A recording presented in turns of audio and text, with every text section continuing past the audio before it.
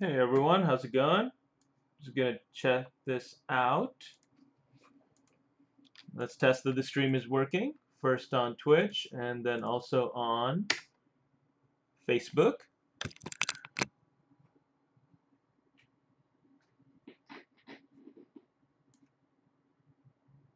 Alright. Should be running. Let's see.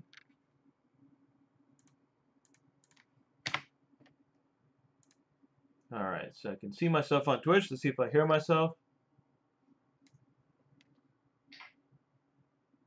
I heard a keyboard click.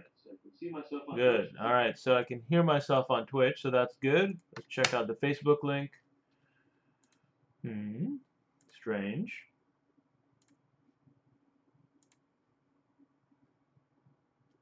It says live video should start soon. Twitch is running. Facebook is stalling. Well, I'll come back to Facebook. Hiya, Twitch. All right. Bloop, bloop, bloop. That's so strange. That's never happened before.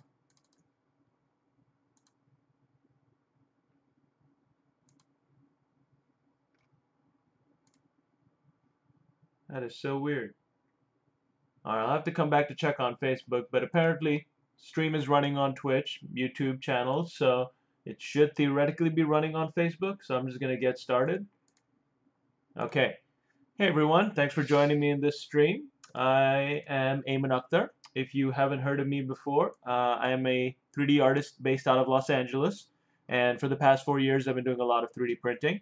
So you can see some of my projects on my site, aiman3d.com um, some really big prints, some small prints for stop motion animation, some concept art and like toy making prints, toy prototyping prints.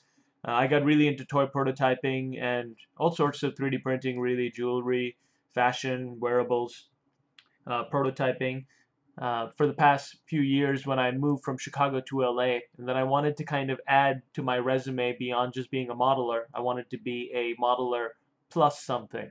So I kind of jumped onto and embraced 3D printing. Um, that kind of led me into a path where I opened my own company. I freelanced around a bunch, and then I started to make my own toys, and I launched my own toy line called Fungisaurs, little dinosaur mushroom hybrids. So that's kind of what I use this stream for. I kind of use it as a time to design some more of these little cute creatures. The toys are in production right now and hoping to release them this November. So it's kind of exciting using 3D printing to prototype something and bring that idea to reality. You can follow my Fungisaurs on fungisaurs.com as well as any news related to them. Scrolling down.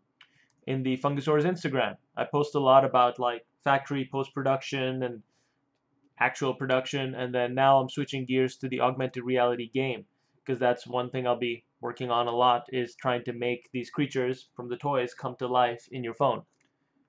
So yeah, follow that stuff there. And if you want to see any of my previous streams, you can go to pixologic.com ZBrush Live Presenters, and you can see all of these awesome presenters here. Uh, in about an hour or so after mine, uh, Shane Olson does his broadcast, so today at 11 a.m. Pacific Standard Time, and he's an amazing artist. So I highly recommend you stick around to check that out. If you scroll down, see, here I am. You can see some of mine, and you can click on my work. You can see a bunch of my past streams, and this is officially stream number 10 for me for ZBrush. So that's kind of an exciting milestone. Happy to be here doing that. Uh, you can see most of the streams so far have been, you know, the Fungisaurs, and then I took a little segue to work on a, another personal project, which was a 3D printed scale mail armor suit. So that was like an Aquaman underwater shoot that I did. And let me show you what that turned out as, because I just got the final photos. I think these are it. Yeah. So these are the final photos of the Aquaman Infinity Armor suit that I came up with. And that's me, actually underwater. yeah, so that was a fun little underwater shoot that my friend uh, Brett Stanley and uh, Jessica Drew put together. So trying out all sorts of fun poses, listening to a lot of directions, trying to hold my breath but not do this face. And I'm pretty happy with how a lot of these photos turned out. So I'll be sharing them shortly. I think that's about it. Oh yeah, this one. I'm trying to think about how many sharks to add into this one because I don't know if you guys have seen the uh, Aquaman poster. Let's see if I can find it here. But that just made me laugh so hard that I kind of wanted to uh, replicate it. Let's see. Choo, choo, choo. Thought it was here. Saved a copy offline. Aha, there it is. Look at that. I gotta do something ridiculous like that with just that many sharks and orcas and dolphins. we'll see. That's what this might turn into. Alright, so uh, going on to what I'm doing today, there's a couple of things I wanted to get started. Let me double check that maybe it's working on Facebook Live now. Hmm. Very strange. Because I can see myself and everything's working fine on Twitch, but nada on Facebook. Very strange. I'm going to check if it's this OBS plugin that I'm using. This might be fun for you guys. Check this out. It kind of creates like an infinity mirror situation every time I pull up this uh, window. Whoa. It's fun. Let's see here.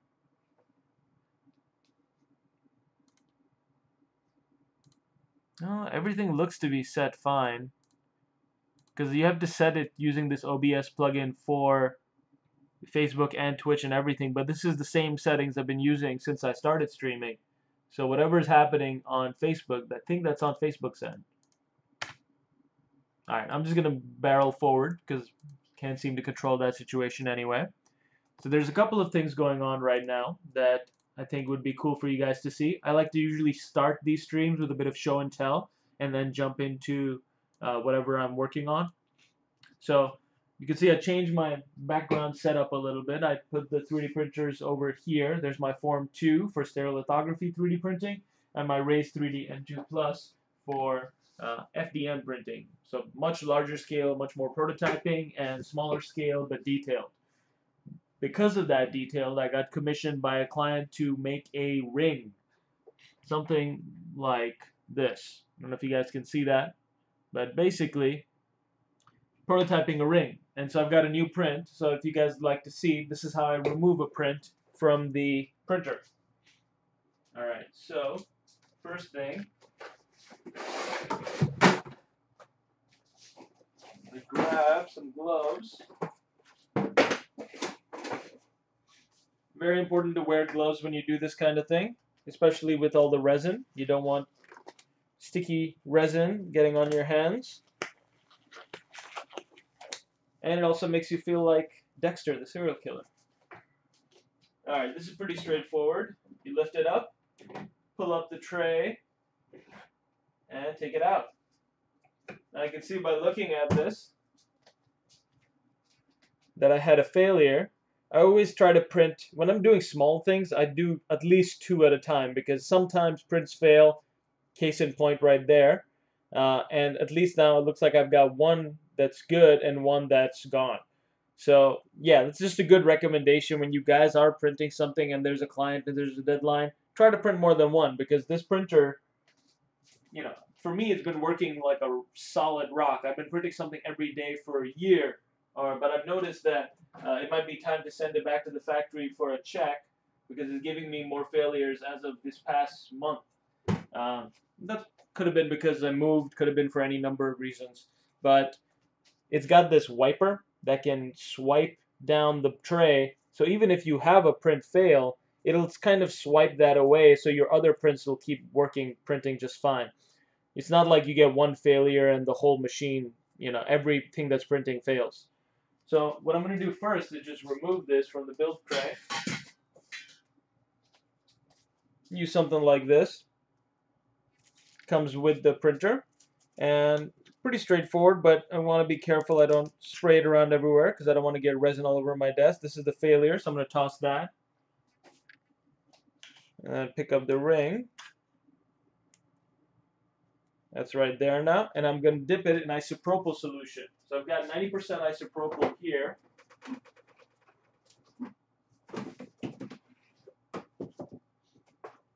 just drop that in there.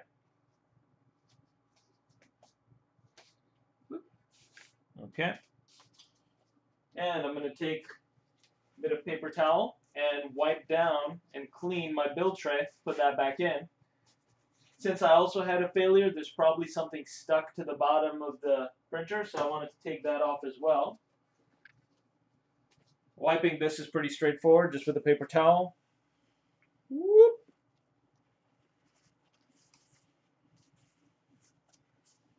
And what I'll probably do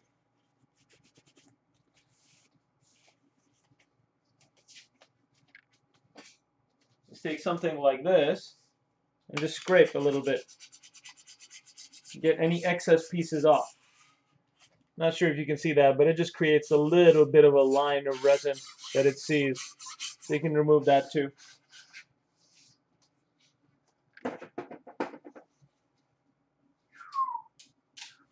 It's kind of my morning routine almost, just to take a print out of the printer. Or one of the printers. I've been doing a lot more printing recently in the FDM machine because I've been prototyping. Alright, so that's good. Put that back in.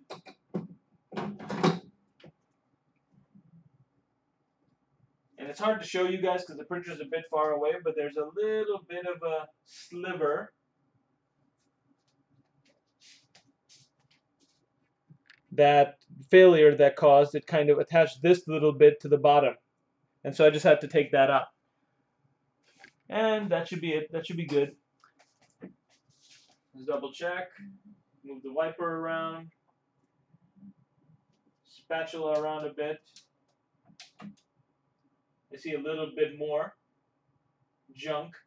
So I'm going to get that out of the printer as well. Gotta be careful with the surface tension. Sometimes stuff doesn't want to come off easily. Alright.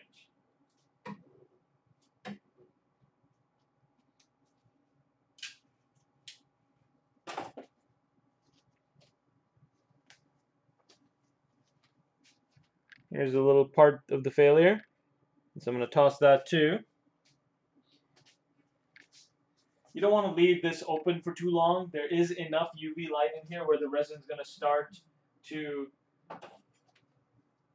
solidify. You do want to keep your printers away from windows, at least the uh, resin kinds for sure. I'm just going to clean this spatula. And this is good. So now I'm ready to start printing and testing again. Like I said, I might have a chat with Formlabs and see if they can check this printer out. They do have pretty good customer service. And send me a refurbished one or see if there's anything wrong with this one, laser-wise or otherwise. Alright, so now that that's done, and this print's been soaking, see, let's mark this as failure. Turn printer off.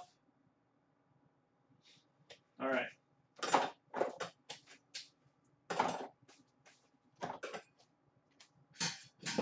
Put my tools away. So this print has been soaking in isopropyl for about a minute or two. I'd probably keep it soaking, but it's a small print. And so the way to think about it is if it's a big, heavy, solid print, you want to soak it in isopropyl for 15, 20, maybe even longer minutes. But if it's a really small, thin piece, like a ring or something like a tin sword or something, the longer you keep it in isopropyl, the more likely it is to warp. And you don't want it warping. So I'm just going to take it out shortly. and Check it out. I'll do sometimes multiple isopropyl dips and wipes to make sure the print looks good and there's no issues. This side looks good and that side looks good. Sweet. Yeah, so this print is probably the best one I've had, which is strange. I printed this ring now a few times, but there you can see that ring. Woo. And you can see how it's coming off the supports. How I, how I basically placed it on the uh, printer so that it would print vertically and do the least amount of damage to any of the actual art on the side. Yeah. Here's one that's been removed from the supports.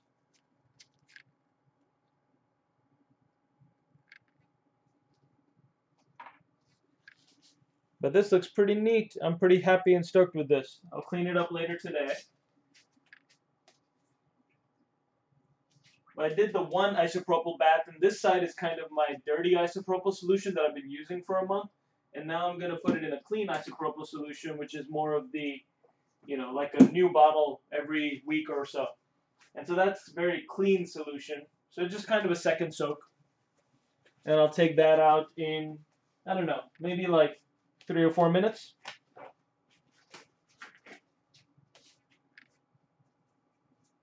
Take off my gloves for three or four minutes.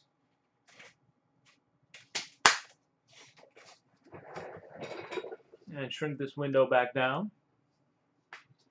And let's get loaded up on what we'll be streaming today. So I wanted to work on another one of my fungisaurs and there's a few different things I wanted to do. So let's see how much I can actually get done today. Okay. Stream 10. Man, can't believe it's been 10 already. Alright, loading these guys up. And let me also load up one of the guys from the previous stream. Or two streams ago. Mm, one of these. There we go. Okay. Do do do do do do do do do do do do do do. All right. So this is a little Stegosaurus mixed with a random green yellow mushroom. I haven't figured out which one I wanted to use yet. Uh, just kind of went with the mushroomy shapes. And this was the first one I made and kind of finished off on the stream. Also did a test print on it using Shapeways.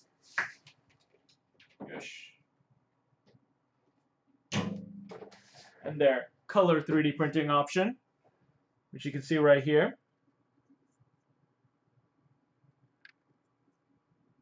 So that's one. And wanted to move the next couple that I started to the same level. So I'll leave that down there. And switch to this guy.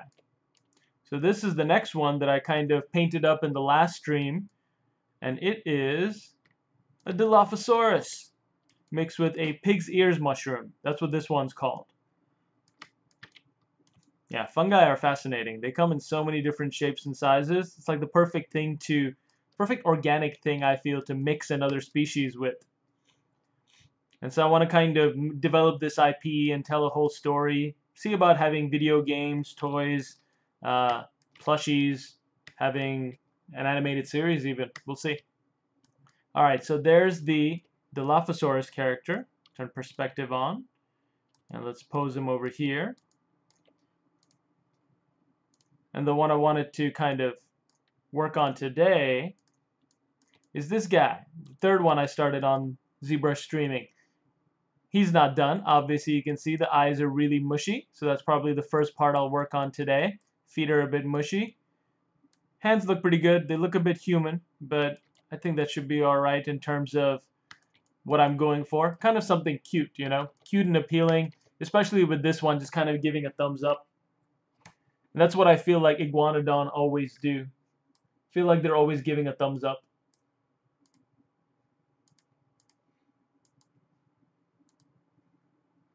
If you guys don't know what an iguanodon is, that's this type of dinosaur. Uh, it's kind of famous from the actual dinosaur movie uh, by Disney. I think you can see like that one. That's the actual toy of it. Let's see. But I always think iguanodons always seem to be doing a thumbs up because of their thumb sticks. There you can see again. I guess that's one of the proposed reasons for why we think they have these thumbs is so that if an Allosaurus or something came after them, they could just kind of stab it or use their thumbs as little weapons because their arms are a bit longer than a lot of the other uh, dinos. Because they could walk kind of on their forearms, but they could also stand up and be vertical to kind of reach the plants on the trees is I guess what scientists and paleontologists assume um, and just make themselves look bigger than they were. Um, I thought mixing this iguanodon would go really well with a two-colored bolete, which is a really nice, colorful, thick mushroom. Uh, it's got like purples in it, yellows, pinks, so it gives you a lot of different colors to play with, and that's kind of what I wanted to experiment with this one. Uh, for the green one for the Stego, I was actually thinking I might go glow in the dark and have a glow in the dark one in the next series, which would be pretty cool. Let me show you another update.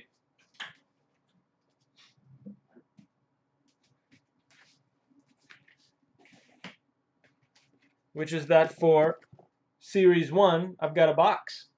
This is almost this is actually the final prototype I went to pick up from the factory. Let me make this window a bit larger so you can see what's I'm showing you. Yeah, so there's the actual finished prototype box that I hope to get in store soon. Get that nice and positioned. Okay, there we go. So like an actual you know, professional looking box set. My wife, Fa, she's the designer on this project. She did all of the uh, package design and look development for all this stuff. I did all the sculpting and character stuff. And so that's how we came up with all the packages. And there's eight Fungisaurs in Series 1. We pop these open. We're trying to open the boxes from the bottom so I can keep using this display. And this is how they'll come in. And this is an actual sample from the factory. So we can see that the paint job is actually pretty dope. And I like what they did at the bottom of the box. Whoop.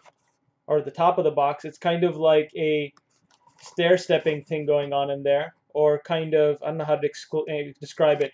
It's basically like this happening in the top of the box, so you don't really know what toy you're looking at from the top of the box if you were to open it. Also, it it basically prevents any extra movement in the packages because now they take up so much more of the space that when you shake it, it's not going to shake a lot. So simple things like that. So I've got Fungisaur Series 1 all done, and I just need to whoop, get it, some distribution deals on these guys, and hopefully you'll see them in a store near you soon. So now what I'm working on these guys you see on screen is Series 2. Alright, before I do Series 2, it's been about three or four minutes, so I'm going to take that ring print out of the isopropyl bath. Don't want that to start warping.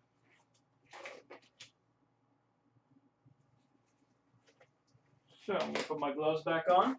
Because isopropyl, like resin, is a chemical. You don't want unnecessarily getting chemicals on you. You don't want to breathe them in. You don't want to get them on your skin. Just wiping away this extra isopropyl. And I will probably remove the supports later carefully with a uh, modeling clippers or X-Acto knife blade. So for now, I'm just going to leave it right here.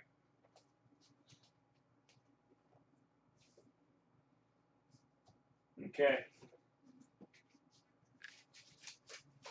Done with that. So it's that pretty much that easy to work with 3D printers, even with the failure. If you kind of know what you're doing, it doesn't slow you down too much. okay. I do teach a full course in 3D printing for ZBrush artists. uh, right now in the process of upgrading that lesson, and it'll be on Mold 3D Academy. Let me see. Shrink this back down. You don't need to see my face that big. Alright, and I will check Twitch shortly to see if there's any questions and stuff. Alright, there's Twitch. You can see yourselves, guys. What's up? Hey Kurt, what's going on? Thanks for joining me again, Joanne. I feel like I have like a regular following with you guys. Thanks for showing up. Let's see. Is that one of those dip printers? Yes, Boyle Spud, that is uh, the Form 2 if you're referring to, is a uh, stereolithography resin printer. So it's the liquid resin that when a laser hits it, it kind of becomes solid, 90% solid, and then eventually you can pull it out of the tray. Kind of like, you know, a little Terminator. All right, Brave Hun says, hello, hello. Nice details, thank you. Looks like a flower. I agree, that guy, little dude looks like a flower. All right. Mushy seems like a, something a mushroom dino would do. okay? I am a great businessman. I would like to think so. We'll see. Most businesses fail. So I, I have uh, no crazy expectation. Uh, 254mm Nick Hall is saying, how do you like the Z18? I don't know what you mean by Z18, so I'm going to look up Z18. Replicator Z18 3D printer. Okay. That's this guy right here. Oh, okay, so it's the MakerBot. I have used this one before. Well, why did it just go to nothingness? Alright, I'm going to look in images. Alright, so the Z18 is MakerBot's large-scale printer. And I have used MakerBots relatively extensively. Uh, I use the fourth generation one a lot, and I contracted out to other people who had these printers to get samples from them, to get prototypes. At the end, I ended up going with the Raise 3Ds N2 Plus because for the price range, it was just giving me something a lot bigger. This is 12 inches by 12 inches by 24 inches. Uh, let's see what the Z18's build volume is. So this is 305 by 305 by 457 millimeters. So that's not that much. Um, so that is almost 12 inches, 11.8 inches by 12 by 18. So I get a couple extra inches on this guy. Um, so size actually did matter to me. The other thing is MakerBot as a company has been really crazy, flexible up and down. They hired a shit ton of people and then they let them all go uh, once they realize that they're you know trying to get 3D printing in stores, trying to be the Apple of 3D printing wasn't working out. and they have these flash sales on a lot of printers time to time where they kind of over inventory and they have to get rid of them. So I would definitely recommend checking all the reviews and then uh, getting it. Um, looks like on Amazon, you know, just a simple, simple basic checking, it's got only two and a half stars, and the price tag it's about double the Raise 3D's price tag. This one, the N2 Plus, uh, was 3500 which is the same price as the Form 2. So about the same price. So this printer, the Z18, to me seems a bit excessive uh, for the cost. If that helps you see how I think about these printers. That is not a Z18 behind me. That is a Raise 3D N2 Plus. Uh, I can show you what that one is. Do, do, do, do, do. All right, let's go to the images. yeah, so that's that one. I think they came up with a new one recently. It's like not even the N2 Plus. It's called something else. Yeah, so this one is a dual extruder, so I can run two filaments at the same time. And it is fully enclosed. Yeah, I, I can't say enough good things about the printers that I have. Uh, I've gone with both uh, companies that respond really well to support messages and chats because printing is a kind of a black art right now. Things don't always work out. All right, I'm going to double check the Facebook chat to see how that one's looking. Man, Facebook's content is just not on point right now. This whole ZBrush Live. Let me go to Pixologic's actual site. and see if I can get to it that way. Do do do do do. Do do do do do. do do. Yeah, that one's just strange. We'll have to come back to Facebook. Not sure why it's on the fritz.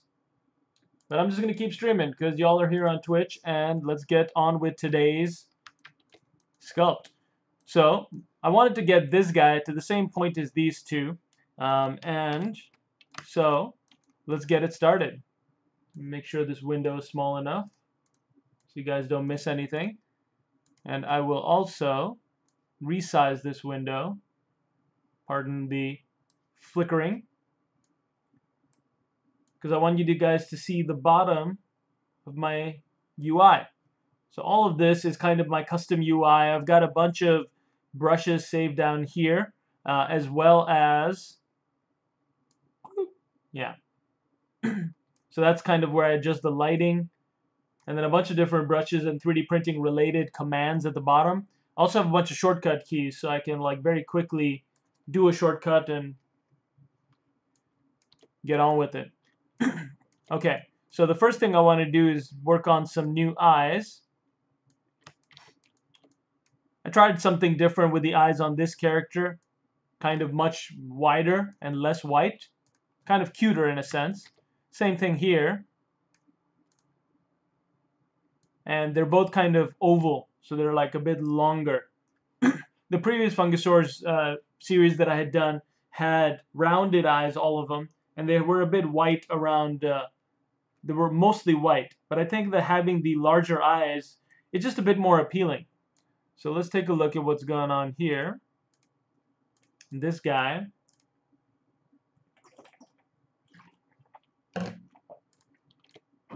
So I've got some eyes here from the Dilophosaurus. So I'm just going to steal those. Scavenging parts all the time.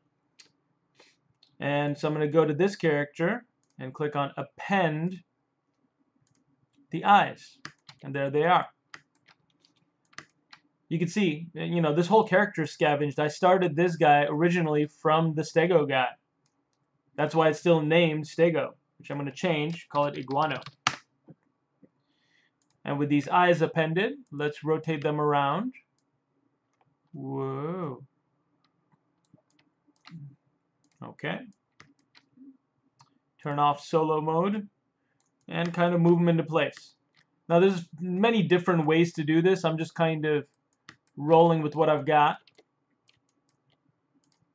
I'm going to click Auto Groups. Just so they they each have their own poly group. That's blue, that's green, you can tell now. And I'm going to scale them up so that they're approximately the right size for my eyes. And then I'm going to do split. So I can do group split and it puts each in their own separate layer. So I can kind of position them individually. Turn off symmetry mode. Whoa, what if this character was a Cyclops? That's a fun idea. A little Cyclops dino. Yeah, I might do that later. Probably not for this guy, because I already have a second eye all laid out. Alright. I'll have to add some eyelids to this character scale this eye down a little bit. Position that nicely. Hmm, maybe move it out a bit. Mm, maybe not. Maybe I'll move cut in a bit. So I'll switch to my dam standard tool, which is right here. And then give myself a bit more space. That's looking nice. It's a bit large though. So I'll click on it again. Scale it down. That looks a bit more proportional for what I'm going for. And I might end up changing these eyes entirely if I don't like them. Go back to the previous way I had done them or go to a different way entirely. Try to not get so much of it. Like I try to get the eyes, like the weird sculptural way I'm trying to go with these is to actually get a little bump for the pupil and a little concave for the uh, iris area. and that kind of, to me, just reads like, you know, when you actually print it out, you can see it. You can, you know where to paint, so it's really obvious. All right, so that's looking neat. I might actually, instead of rolling with that one, I'll just toss that one and duplicate this existing one and move that. So what I normally do with the eyes is once I've figured out what I'm doing with them, I'll create an insert mesh brush and then just kind of draw them into place only where I need them, only where I want them. right now, I'm just going to move this into place and we'll create some eyelids and we'll refine the sculpt a little bit.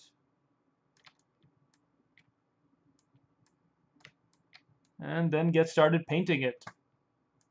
Also wanted to cover a bit of retopology in ZBrush today because I have to get cranking on my app that I'm trying to get done by November for these guys. No. And so for that app, I need to retopologize the original eight in the series. I guess I've done one, so seven of them.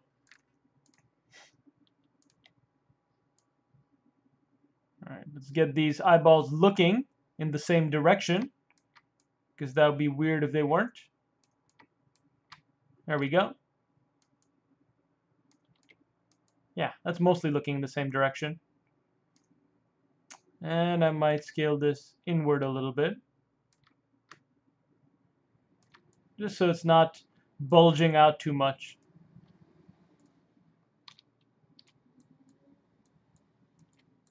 Don't be afraid to sculpt on your sculpts. That's what I say. And I'll probably change the eye color from green to something else eventually anyway. Cool. And then, just kind of getting this in place, dam standarding, smoothing, moving. I like this bridge of the nose, so I don't want to interrupt that too much.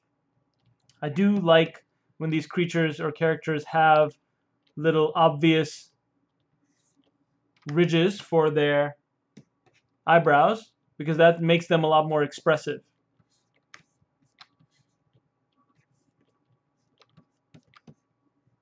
I can work on that ridge a little bit. I might actually pull that forward to give me more area to play with. And let me check. I think I was sculpting this with Sculptris Pro mode off and then just Dynameshing. Yeah, 100 resolution. Let me crank that up to 200. Yeah, that preserves most of my detail. And that gives me enough resolution to just kind of smooth around.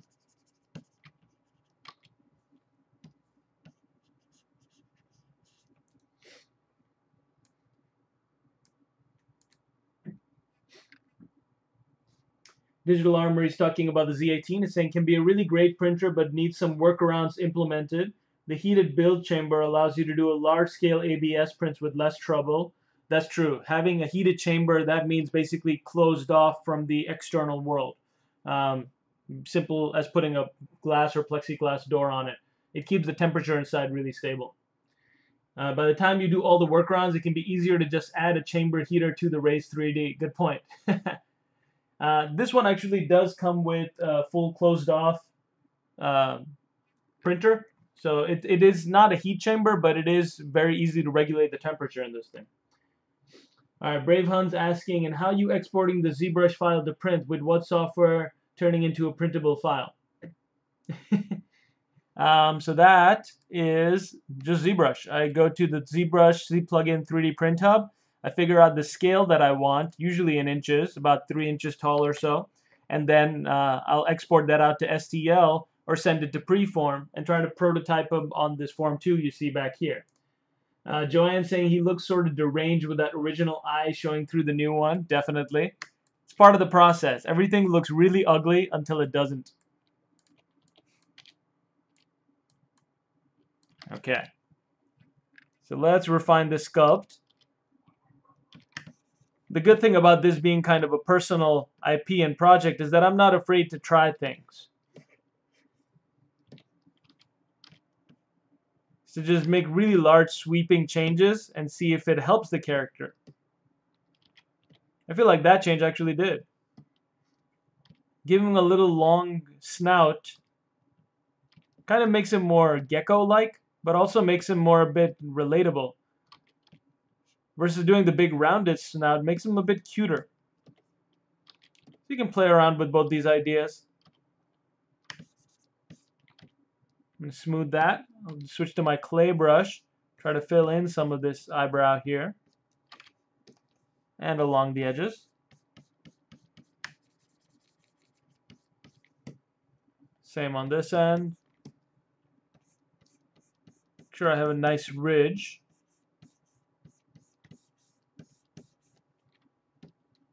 Then come in with the dam standard. That's looking much nicer already. Okay, so the next step now for me, I pinch this a bit, smooth it out.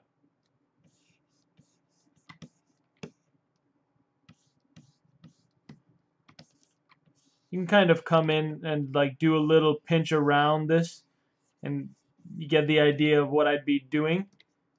Uh, at least on in terms of the plane but I don't need to do that because that'll mess up these uh, nostrils, which I really like the positioning of. So instead, I'll just use the hPolish brush. Just kind of do a little bit of polish. And that'll do have the same effect.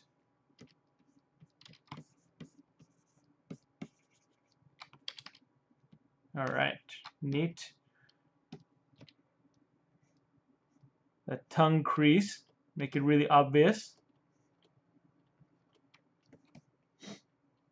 And now it's looking a little bug-eyed because those eyes are so massive and there's no eyelids at all. So you can try a couple of different things. I can try to shrink these eyes a little bit. So let me merge both of them together and scale them down a bit, just a tad.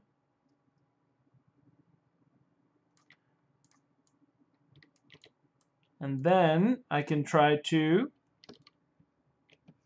add some eyelids. So there's a few different ways of adding eyelids. The easiest one that I found, which I like doing, is to duplicate these eyes and just kind of cut them in half. So I'll just use my clip curve brush or my trim brush. So let's see, where's the trim? Trim lasso. And I'll just drag, whoop, was supposed to try to control shift drag. There we go. There. That's so strange. Okay. And so that basically trimmed and got rid of the bottom halves of the mesh. And I'm going to save before I crash because that was a bit scary. Go to stream 10, Iguano, let's call him 4.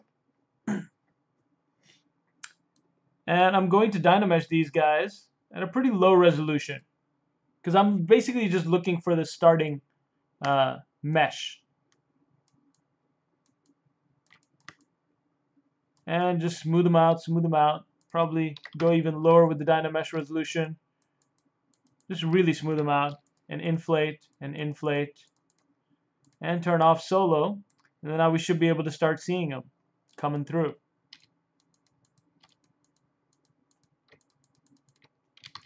And I'll just move those around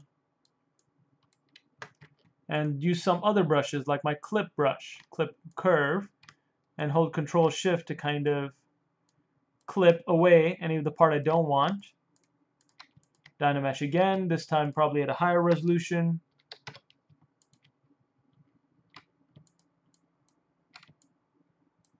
What happened? Oh, that's 1232. That is way too high. I was going for 128. There we go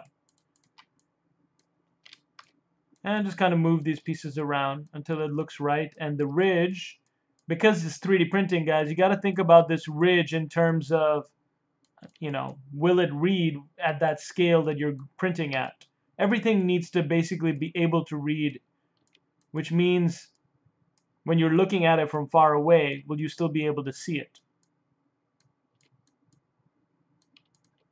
So if this ridge was really, really small, because this is about the scale these guys will be printing. You have to get this stuff to the scale that you want to see it at so you'll know if your detail is going to look good.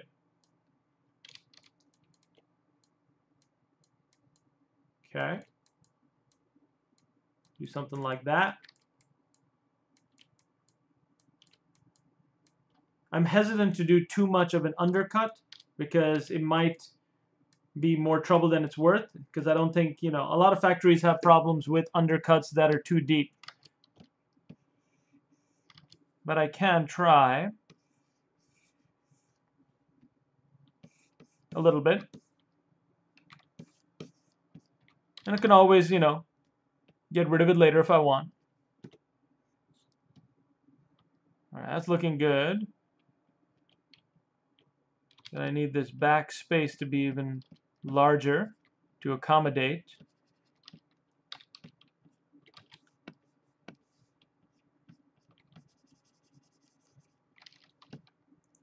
This big eye, big old eye.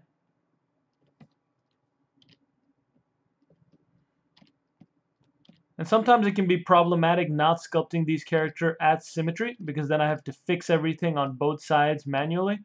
But I often find it's worth it because you're going to get something that's more organic and appealing. And then later, once you're done with the concept, then you can pose it for retopology. Nope.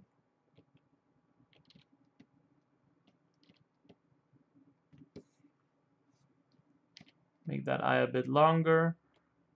Every time I look at it from a different angle, I see, oh, I should clean that up. I should clean that up. All part of the process.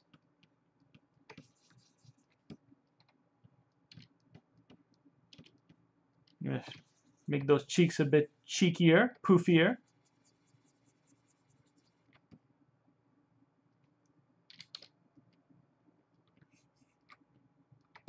This is really the fun part of working on a character for me is to work on the face. To refine that, make it better and more uh, relatable, cute, appealing. Get rid of the bumps.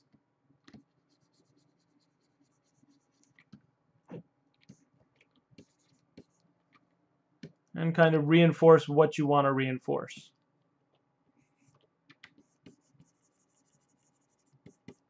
All right, that's looking good. I like what's happening here, where it just kind of bleeds off and you don't see any unnecessariness. Now these dinos don't have ears, but they do usually have a little ear hole. So I don't know how accurate I want to be to the anatomy. If I want to be really accurate, I can come in and add that later.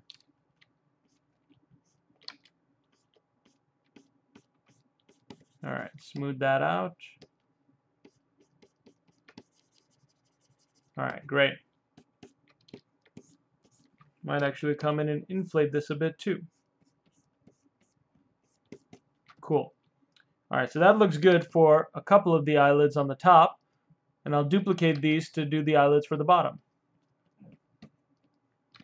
One thing with eyelids is that they tend to be lifted up more on top of the pupil area.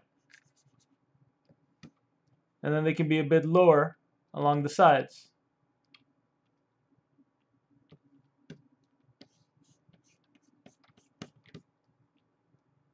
But eyelids actually convey a lot of different emotion of your character. If you have the eyelids really droopy, then the character is going to look sleepy or sad.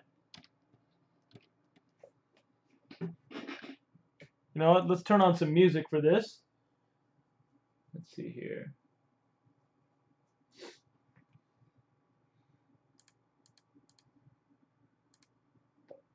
Mm-hmm.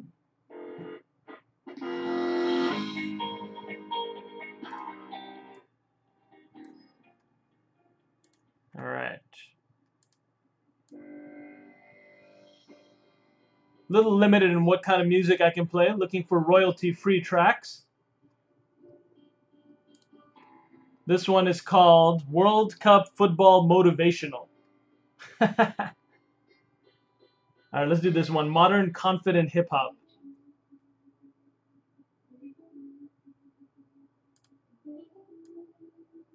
Not bad. Alright, back at it. Oh wait, I hate that. I hate it when it says Audio Jungle or something like that in the middle of my music. Let's see here. Do do do do do do. Damn. Now that one's lame. Let's just go to something else. Hmm.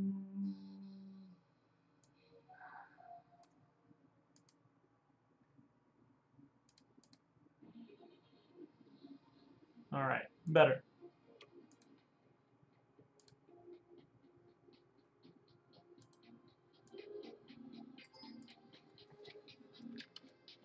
Okay, back at it with some synth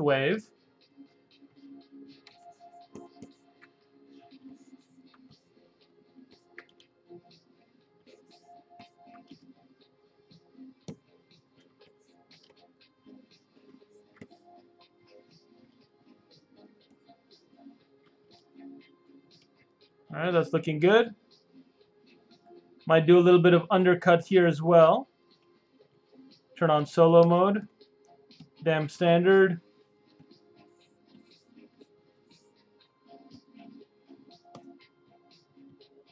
All right.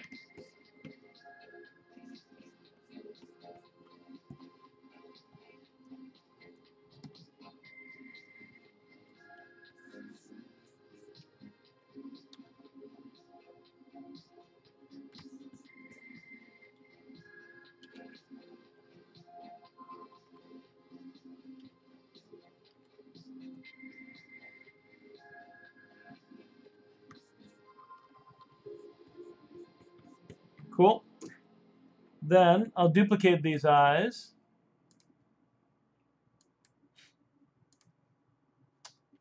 And rotate it around. Or these eyelids, I should say.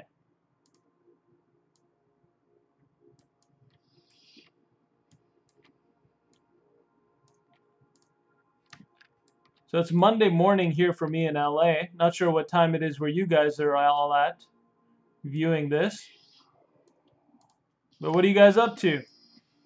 Any personal projects of yours that you're working on? I know it's hard to find time to work on personal art projects. That's my main problem. Just have too many projects I want to do. In addition to, you know, all the actual work that I do. Probably I'm going to a paid gig after this. These days I'm working for Hero Forge. It's a 3D printed miniatures collectible company called Sky Castle Studios. And I'm modeling and rigging stuff for them, character stuff for print and mini scale. Alright, see with the bottom eyelid, I tried to make that a bit smaller. If you make that too big, character looks tired and don't want the character looking tired.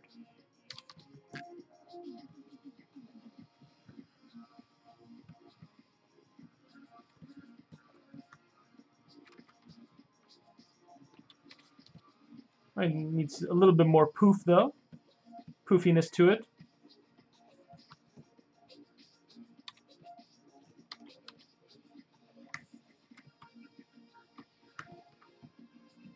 Yeah, you don't always even need a bottom eyelid. If you do something like this, the character looks like he's smiling, which is kind of cute. Might play around with that. Do a couple of iterations of this eyelid.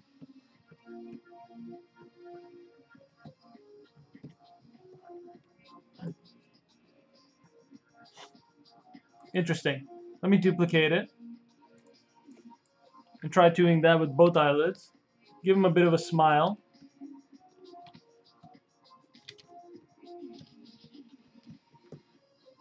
They say eyes are the windows to the soul. I don't know about that, but I know that eyes are involved in your smile. So whenever you smile, your eyes smile too, unless you're a total psychopath. In which case that probably doesn't happen. I don't know. If you're a real psychopath, you could probably fake it.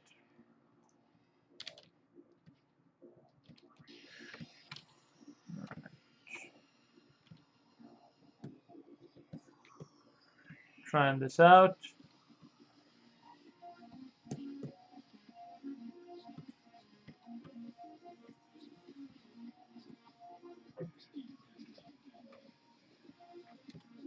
Come back in with the dam standard tool, holding Alt to kind of create a ledge there. Obvious one.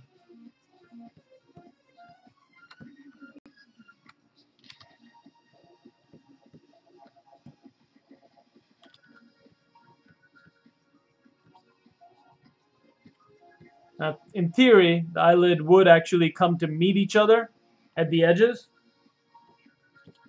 I don't have to stick to theory. This is a cartoon. I can do whatever I want. Alright, so the problem with this, with his both his bottom eyelids kind of doing this smile motion, is that to me he's looking either a bit tired or stoned, which is not a good thing for a kid's IP.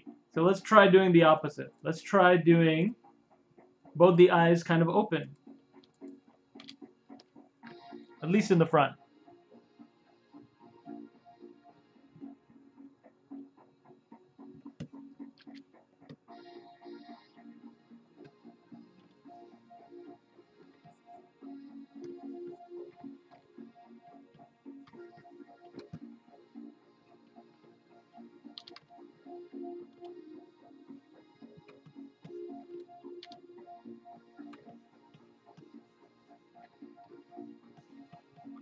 Switching between my move and my inflate tool.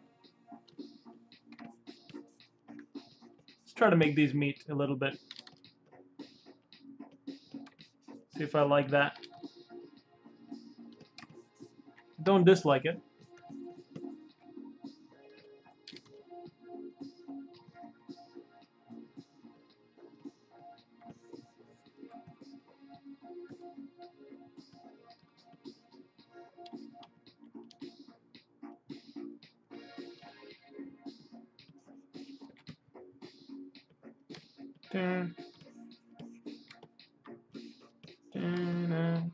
That's better. It's one reason I like to character design in ZBrush, is I feel more like a sculptor, like I'm coming up with it on the fly. When I do it on paper, I kind of just draw and like my drawings are very sculptural. Like I keep adding lines until I get something that resembles what I see in my head. So it's not really technically good drawings.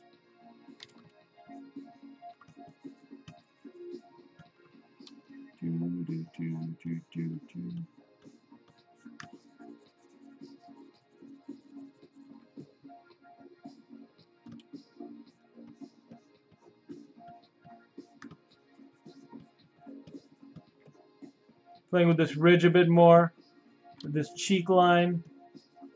Seeing if I want to add some sharpness there. Probably not. Get rid of it. Go back to dam standard.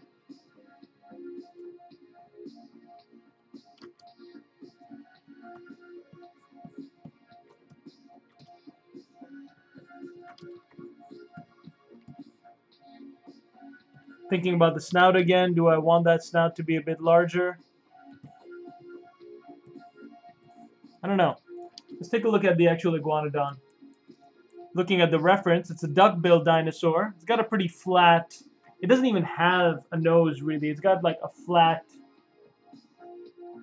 Just direct from the head. And it's a duck-billed dinosaur, so it's got that big beak at the end.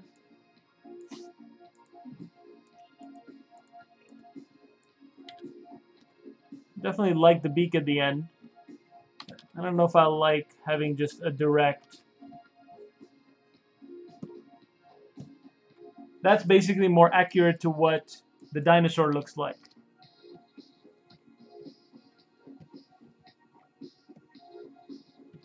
And it's a fine balance here, trying to find that accuracy and trying to find a fun character.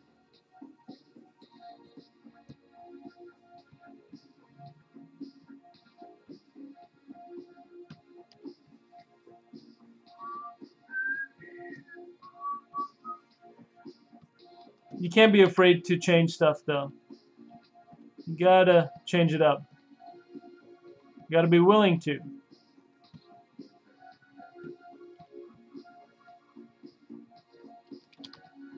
willing to barrel forward with reckless abandon.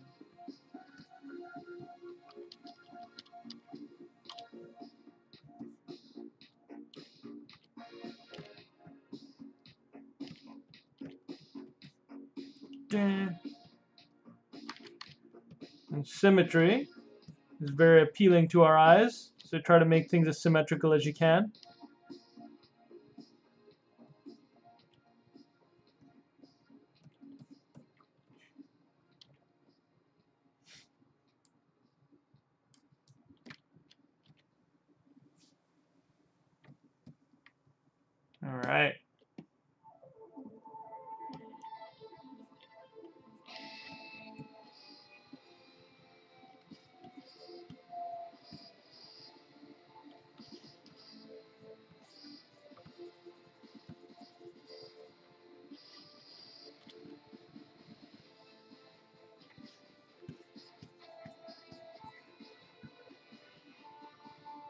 Looking better. Let's go ahead and color these eyes all the same color.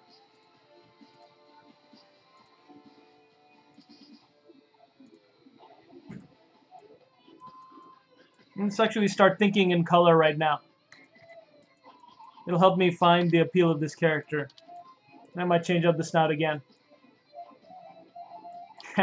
we'll see.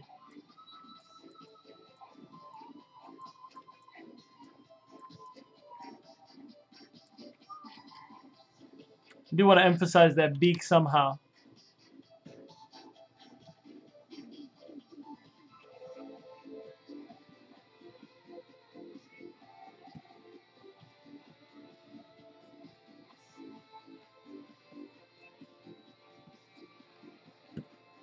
Okay.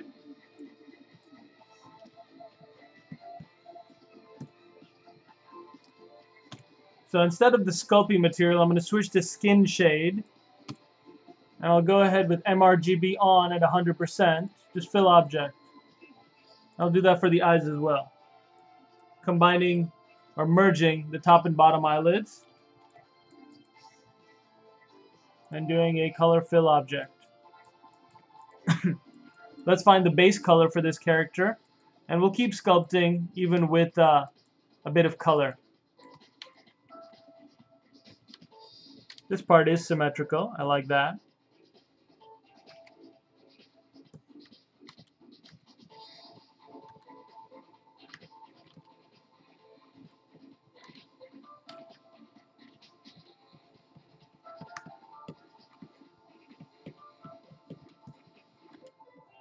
Sometimes it's good to change up your material so you're not really getting caught up on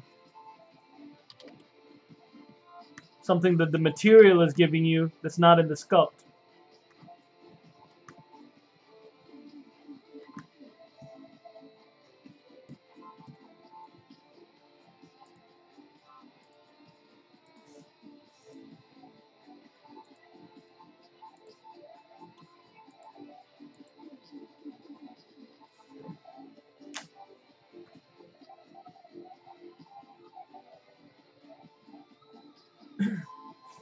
Brave Hun says, I'm working on a bunny toy for learning. That's cool, man.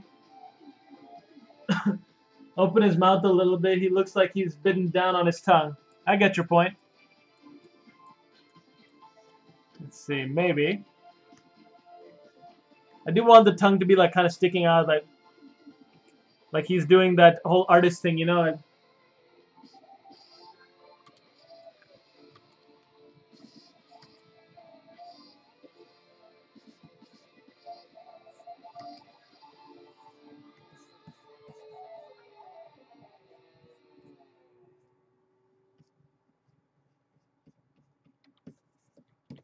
Okay. So, the color I'm going to be doing, the color scheme, is basically a bit of purples and yellows. But let me see. I don't want it to be too yellow. I want a little bit of yellow. I have to look up more images of this two-colored bolete. It's like yellow on the bottom of the frame, uh, of the mushroom. Peachish, kind of going into purple. Yeah, so it's kind of yellow bleeding into a darker color at the bottom.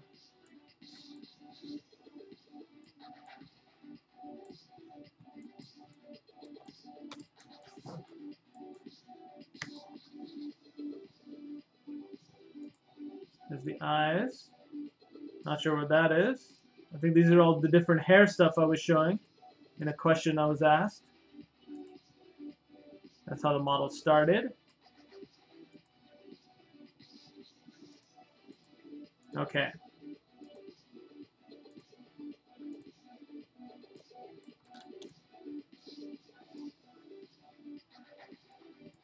With a slightly purple pinkish color.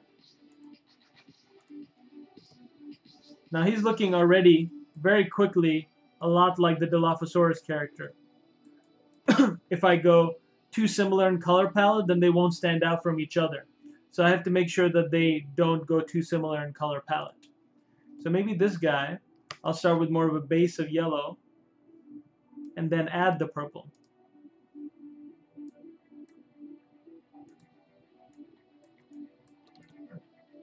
And the pinks.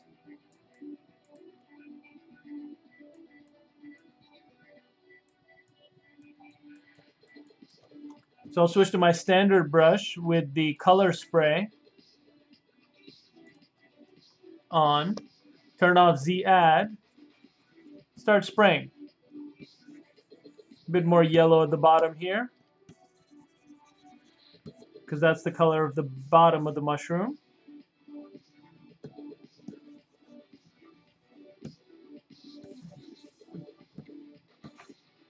And then add some of these pinks and purples up top. That's way too pink. And the RGB intensity is way too strong. There we go.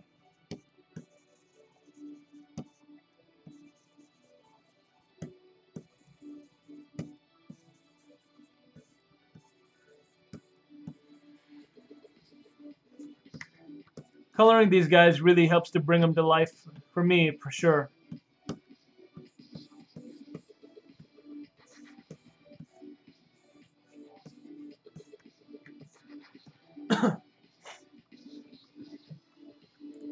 Looks like it's a bit darker up at the top too, so I'll go with a bit darker. Start adding a bit of that in there.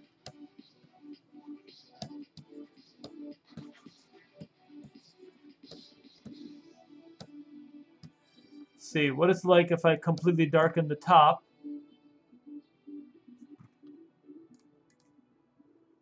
Need to look at more examples of this. I'm going to get rid of the whole uh, I don't know, Google search changed it up so it's not as useful with the large anymore.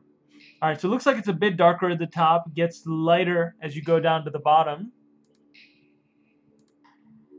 It really depends on the lighting scenario. I like that bit of yellow uh, that peeks out along the edge. It kind of helps reinforce the look here.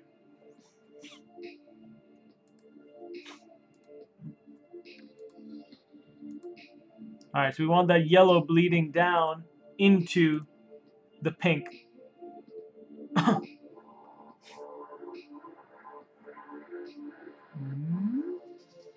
Here we go. So yellow bleeding down into this pinky purpley color. And peeking out around the edge too. Either in crack form or in line form. And I think this is a bit cuter. Because if it's a baby, you can imagine that it's fresher and peeking out like that.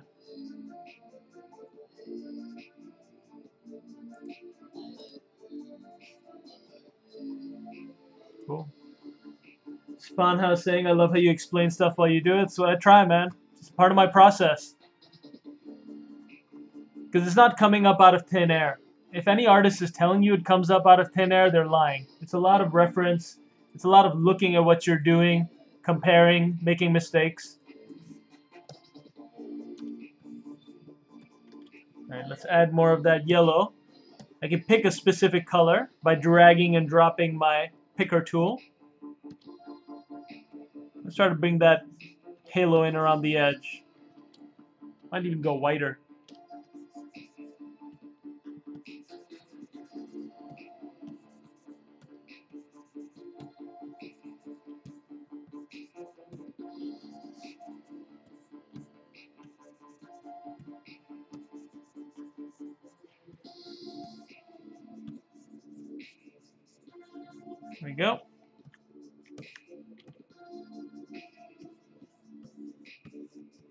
Hit that a few more times and reinforce it. Hit a bit of this yellow too, along the bottom. Get rid of the pink around the edges.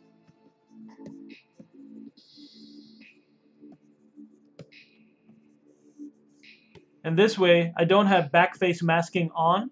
So anytime I'm coloring here, it's kind of going up around the edge, which is fine with me. I like a little bit of the bleed here. Yeah, definitely need to refine the model a bit more. But I need to start getting my thoughts out in color. Okay. Let's go with a little bit of that pink again. And start painting it down here.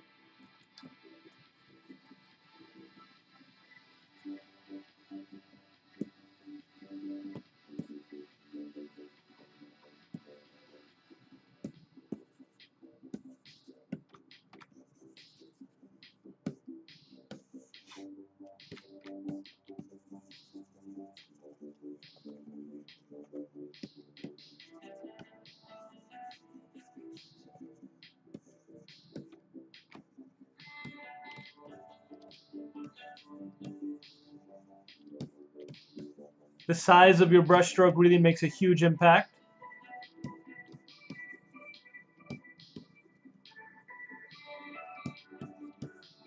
And I want the bottoms to be almost completely this dark purple, and then kind of building up to the yellow.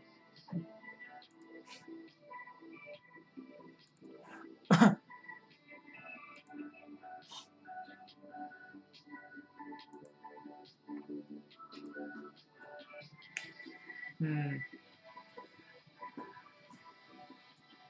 I think the first place I heard of this two-colored bolete was this little mushroom hunting catalog that I picked up. Yeah, and this one's got a really nice photo of it, or drawing of what it should look like. So lots of yellows and pinks and kind of like stretches, you know? Like, kind of like this Alpha 58.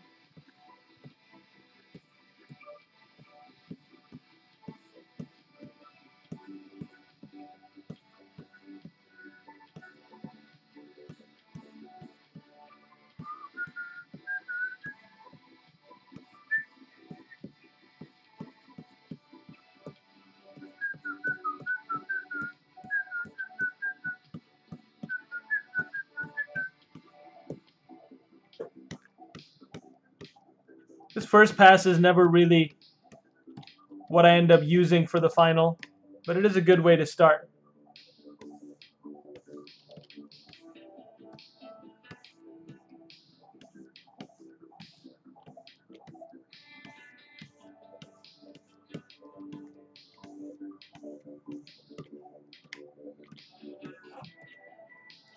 So this looks pretty significantly different from this one. Because this is more of a purple purple versus this one I'm going with more of a pinkish. So I think it'll read.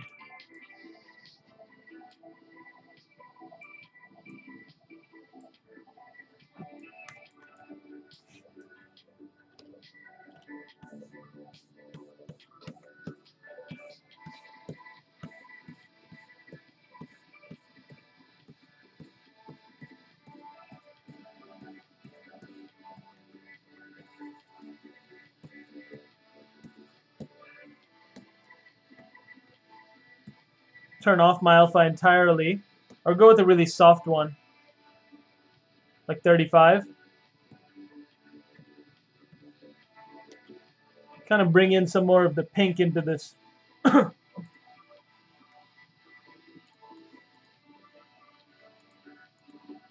at a more reference on the side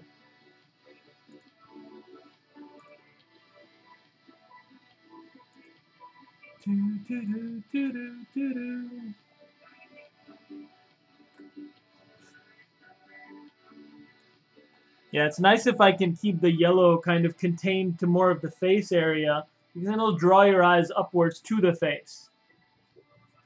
Ugh. Versus if the whole body is yellow. But it really depends which reference you're looking at, you know? Like this one, you can see the whole base is yellow. And then these, you can see that the kind of reddish pink is bleeding up into the yellow.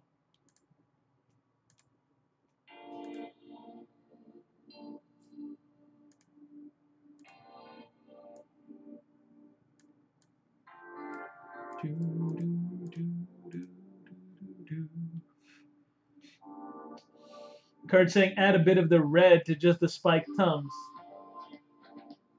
That's a good idea. Help to highlight them. Let's see. That's a bit too red. That's just like like he straight up murdered someone with those arms, those thumbs. Alright, let's just go with the darker color though. Can't hurt to add some darks in there. I'm going to switch from my color spray to just freehand. And start painting in some occlusion where the shadows would be for this character.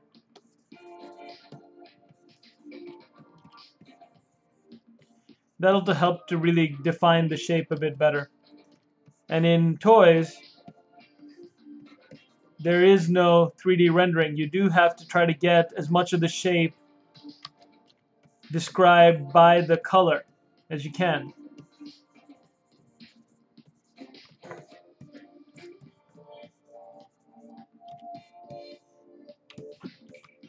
I'm going to select with my mask, let's do mask rectangle. I'll just select just the bottom. Draw a mask over it. Tap control along the sides. Soften that mask. And I can do a color fill object. That'll just make the feet flat. So I don't need to think about the color at the bottom of the feet. It's okay if it bleeds down a little bit though.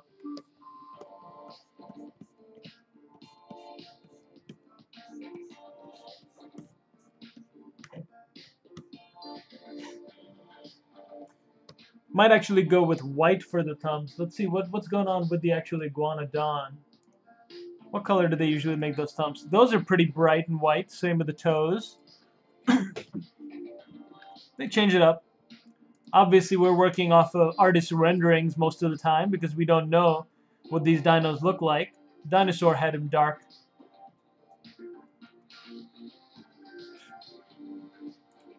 Yeah, you can see in this one they're pretty dark. We'll try both.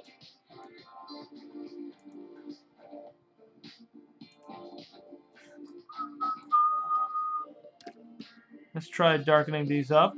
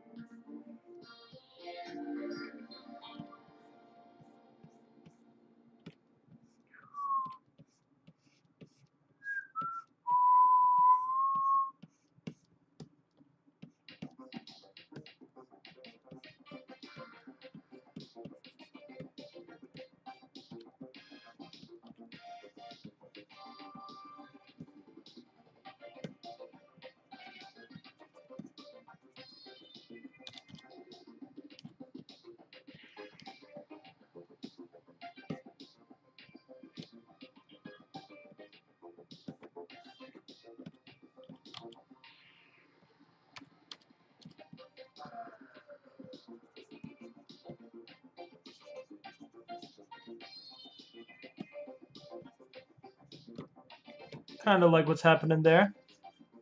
Just playing with it a bit more.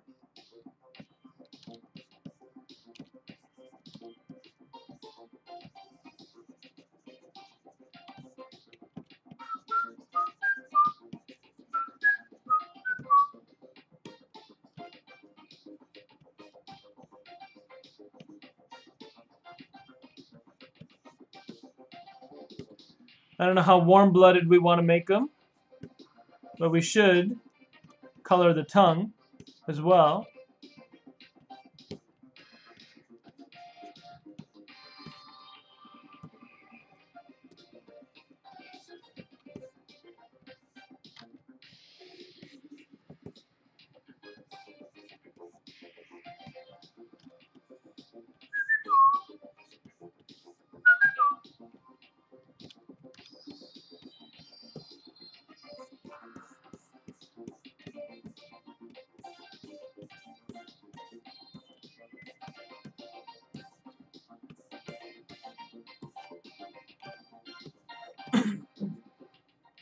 Go with the pink for the tongue.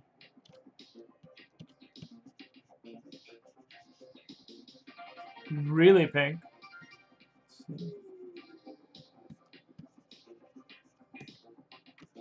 It's probably too pink. Add some more red into there. Add some red into the eyes as well, as if they're letting a bit of light through but not too much. See if I can add a line along the bottom of the eyelid. Let's harden this.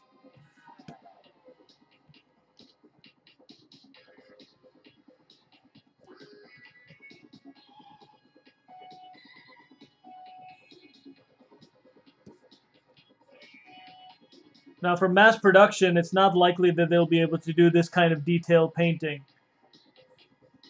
But when you first come up with the concept of a character, you should just go wild with it. Have fun.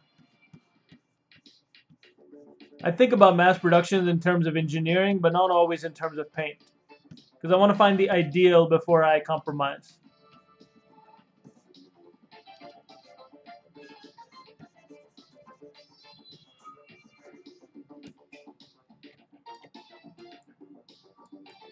Definitely draws more attention to the eye, for sure.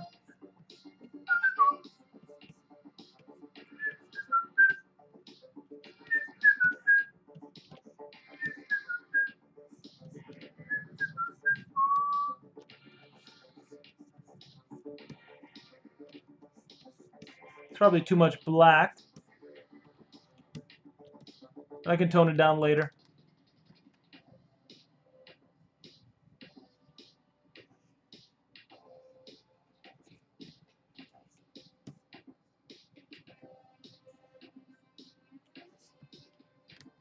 See. I'm going to click Auto Groups. Let me save this file again.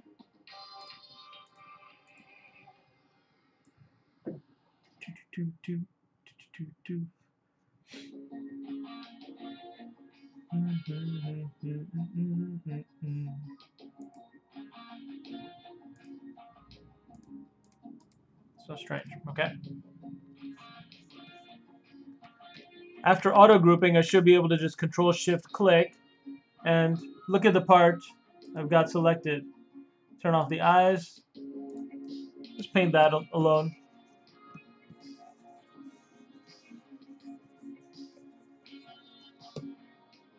Hmm.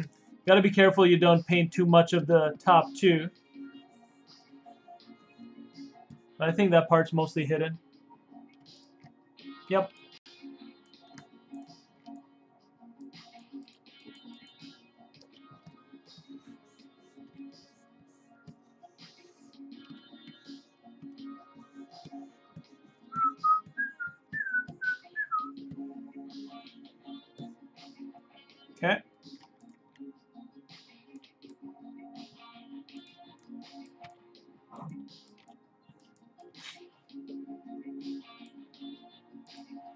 Alright, so I did blue eyes for this character.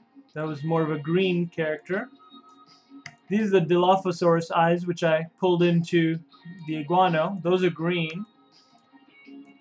I don't know if I'm digging the green eyes on them. Could try a different, few different colors. But I'm not sure if I'm digging the body paint just yet either.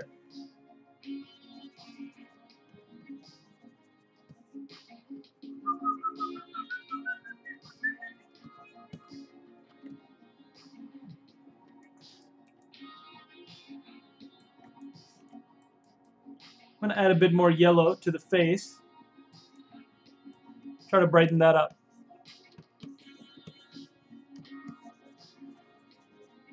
Kind of make it keep your attention.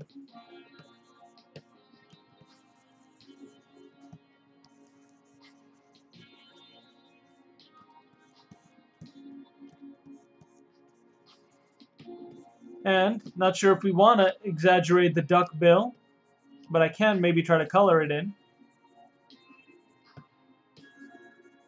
Hope it doesn't look like a mustache.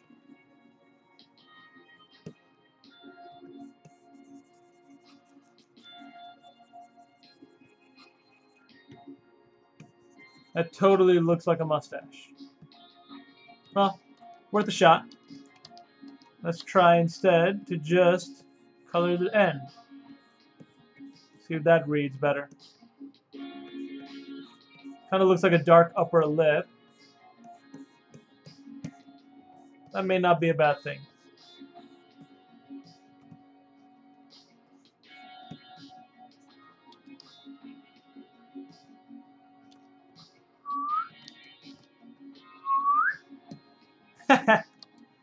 Droopy nose. I don't know. This doesn't seem to be working with the duck bill. So I'm going to undo that. You just gotta have an eye for this kind of thing, like what what does work, what doesn't work. If it doesn't, you skip it.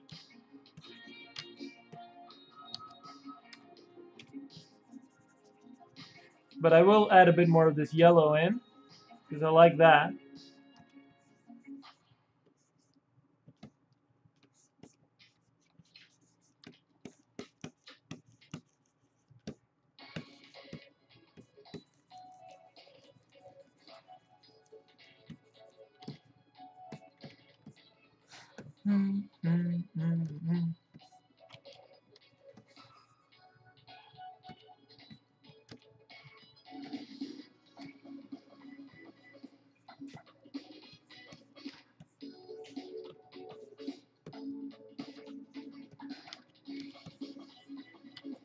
See what happens when I try to bring a bigger bit of pink down into the yellow.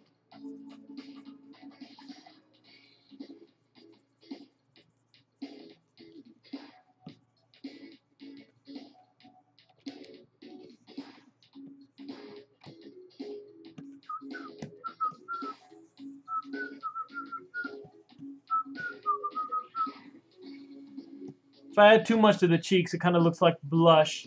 And if I add too much to the below the eyelid, it looks like kind of like a bruise. So you have to find a nice balance. And I thought this would read better than it does. Um, the color combination. Because it looks so cute and cool on the character there. Let's see what if I do just more pink overall.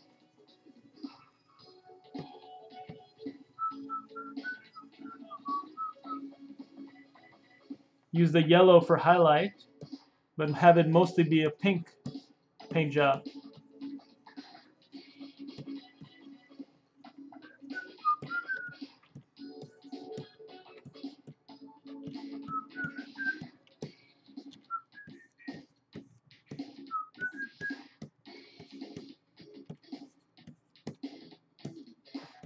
Looks a bit like Barney.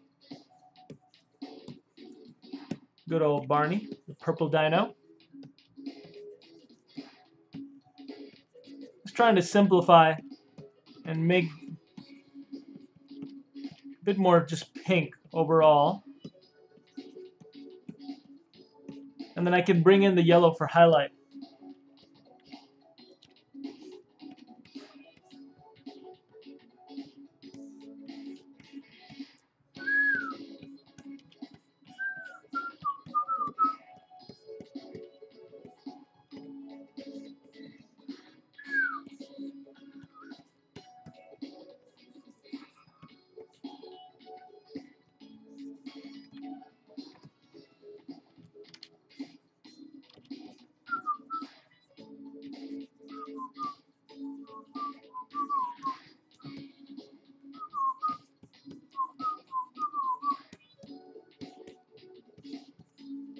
Liking that better already. Sometimes you have to work through it. It's not working. Keep hitting it until it works.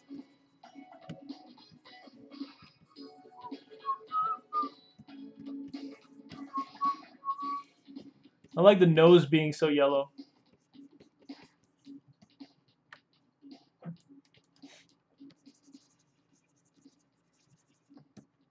No, too much.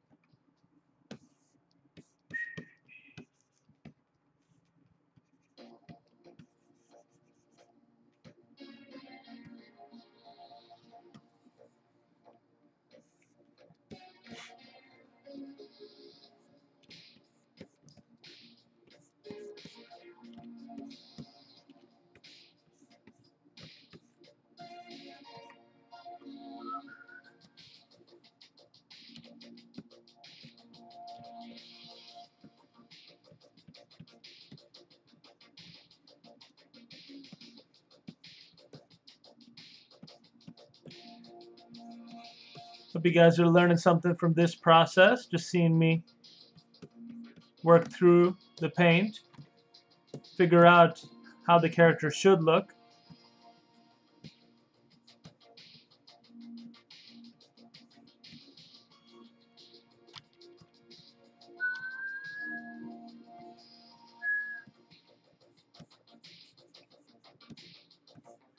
Give him too much dark shadow down here, otherwise it'll look like he's got a 5 o'clock shadow. And it'll look very old, which I don't want.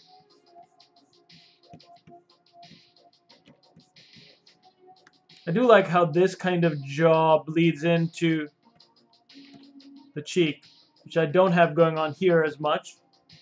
I'm going to switch to Z-Add and Clay, kind of bring that in. Make sure my RGB is off when I smooth. That way it's only smoothing the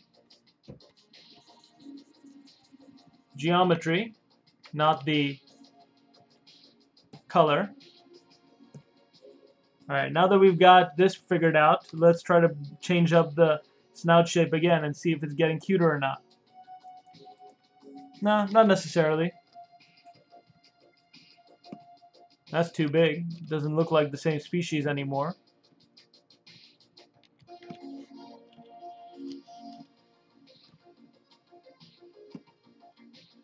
If I do too much of that, it looks more like an aggressive kind of meat eater.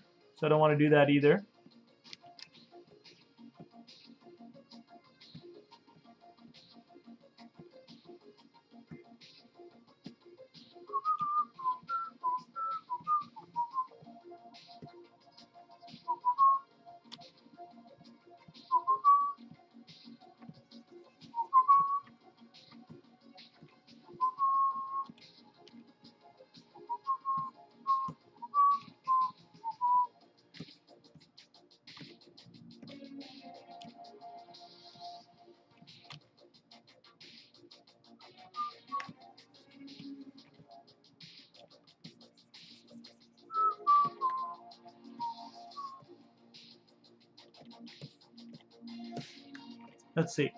Let's bleed the yellow that we've got into the back a bit as well. Kind of see if we can take it down into the tail.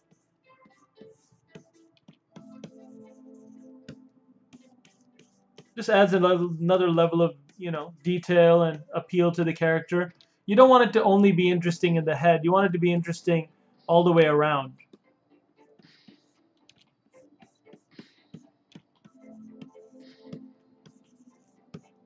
It's an interesting thought maybe that wherever the sun hits it more, it kind of is yellowish more.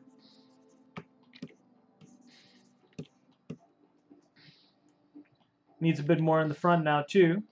Maybe up on the arms.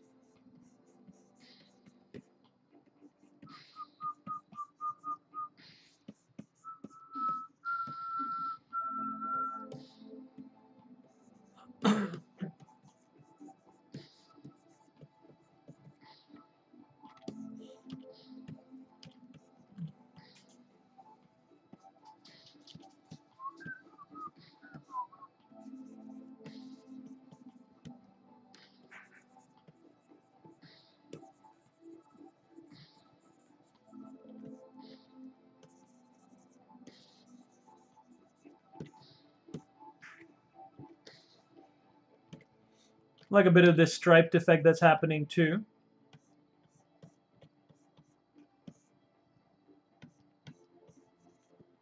It's good to add some pattern now and then. I'm going to darken these wrinkles too so you can see them again.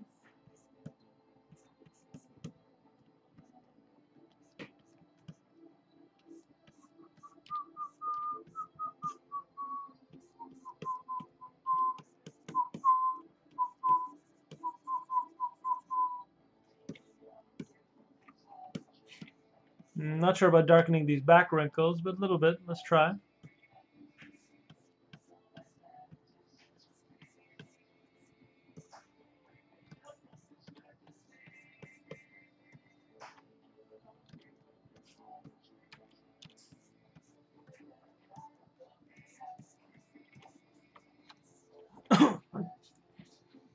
I do like trying to get more of this yellow into the pink.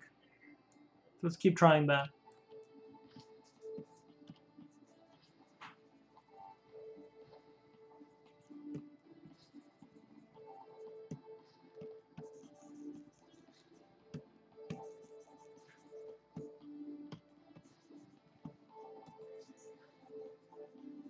And again, you've seen, if I don't like it, just skip it.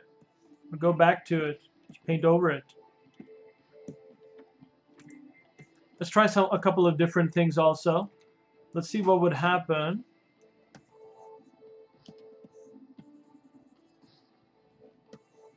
If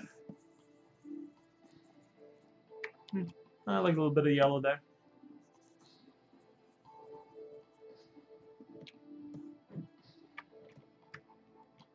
Maybe a little bit, not too much.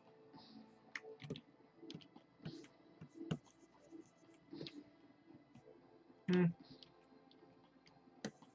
It's either hit or miss.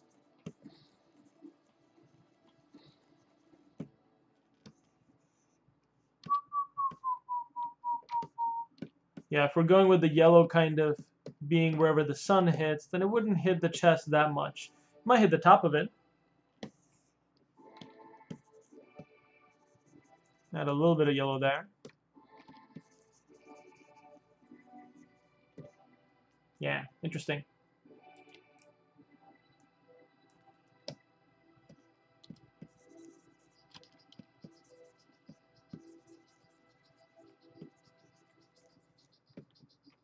And definitely more on the feed then too.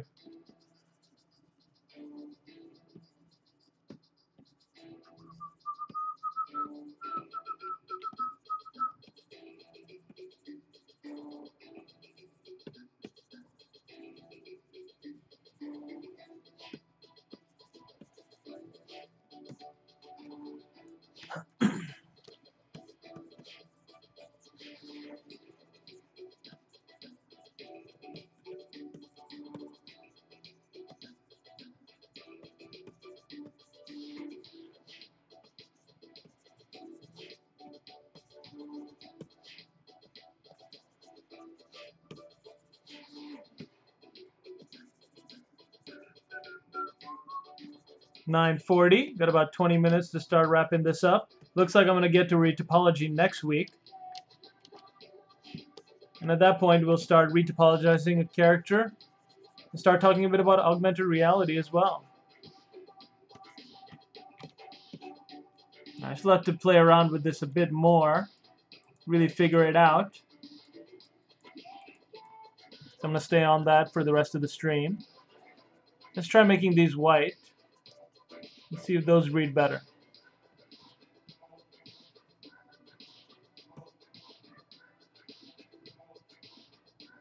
At the end, we're trying to create something cute and appealing. And that means going lighter instead of darker, that's what we'll do.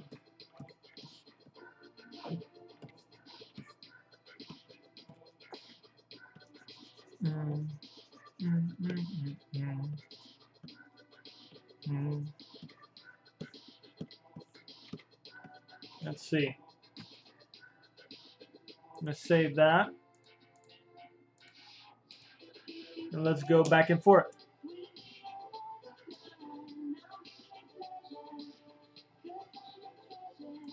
Huh?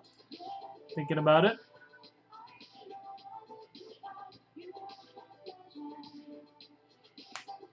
There we go.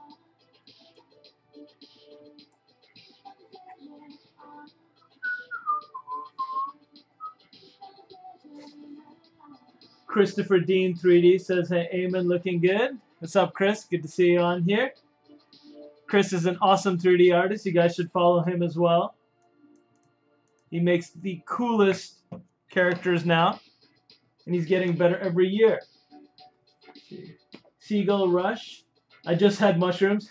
nice. Let's see. Side Effects is asking, did you make any flying dino? Don't remember. Um, yeah, I did. There was just the one, I think, so far, which is...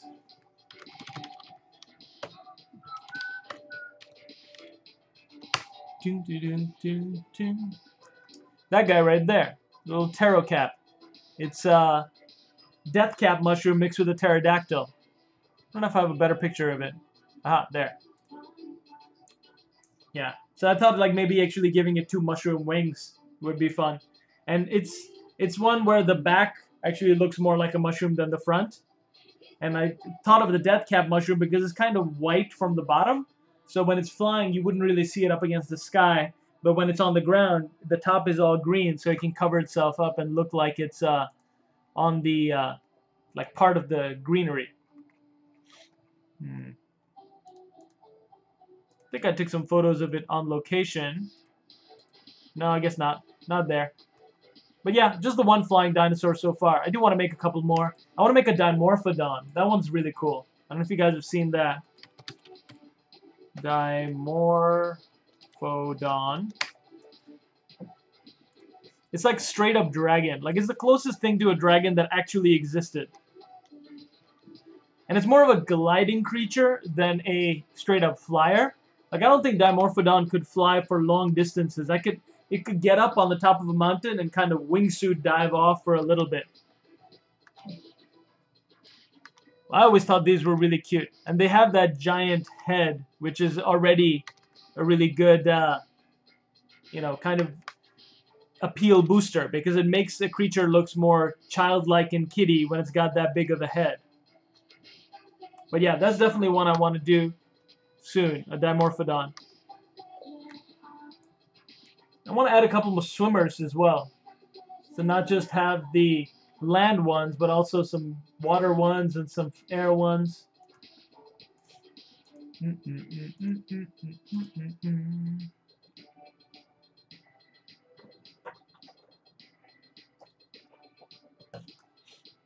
Brave Hun saying, Crocos also dinos. That's true.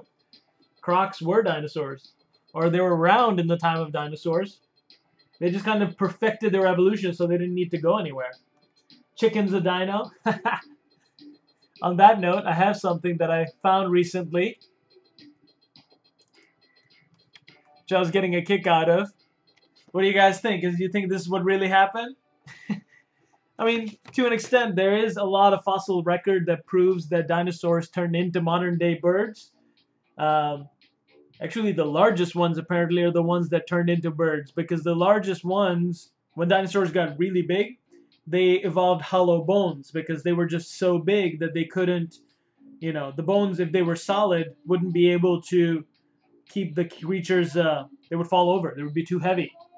So the hollow bones actually evolved from really gigantic size. So then when whatever catastrophe happened that caused them to start dying off and adapting, they kind of shrunk and shrunk and shrunk till they turned into birds. But who knows? It's kind of like one of those eternal debates because we can't really know what happened.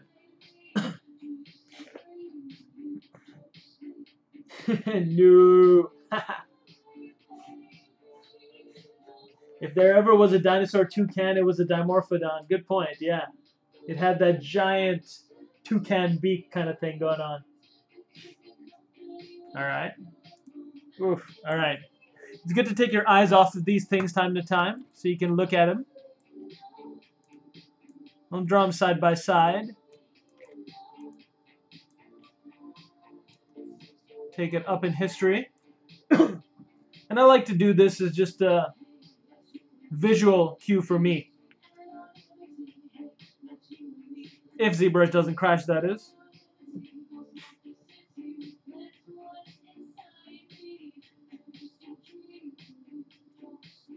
Alright, cool. Alright, we're probably going to get distracted by the little bit of yellow that I've added to this, that I hadn't added there. But just looking at it, trying to blur my eyes, and seeing the white nails versus the black nails, what works better? Hmm.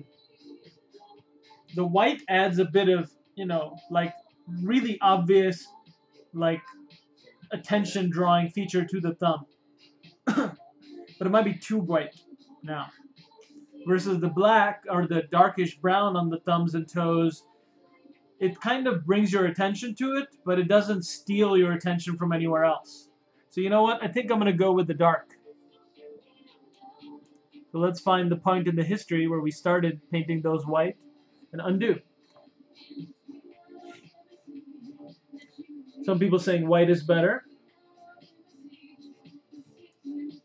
I might end up going back to the white eventually, but I think for now, I'm going to keep it on the dark side.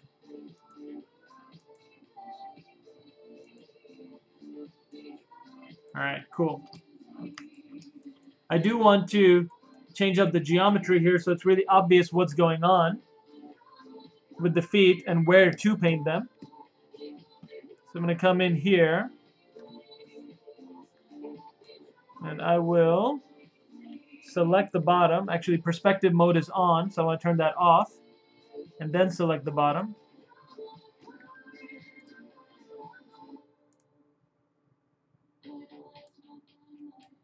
Alright. Masking the bottom just so I don't have to worry about it changing so much as I sculpt around it. I want to kind of make some nails.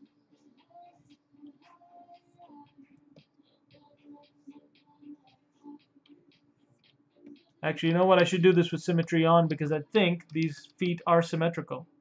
Yeah.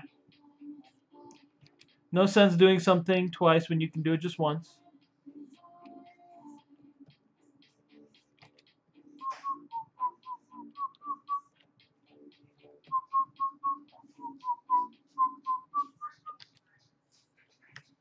All right. That really obvious edge crease so I know where it's at. The pinch brush to refine it, move it around to refine it.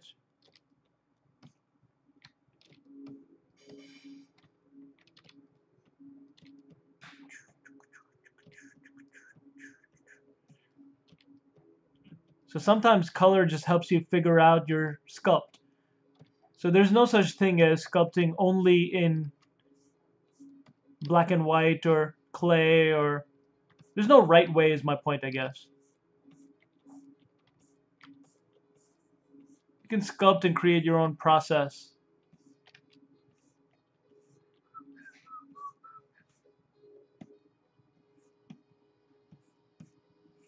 Okay, that's looking good.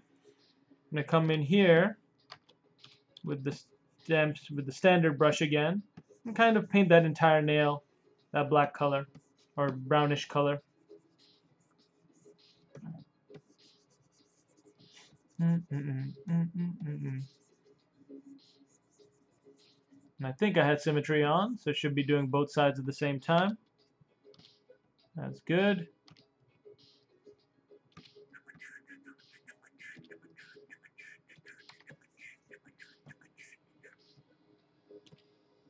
Fix some of this. It looks right.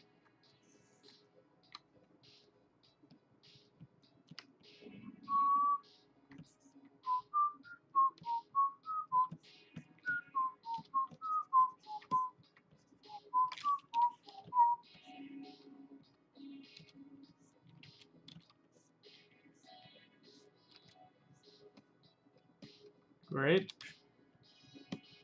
Now, I don't know if you guys know a lot about nails, but they're usually made of chitin on in us. It's a little shiny property material. And so what I want to do is kind of add a bit more shine into these nails. And the easiest way to do that is to just go with white and kind of make a little hint of it. Hint of shine.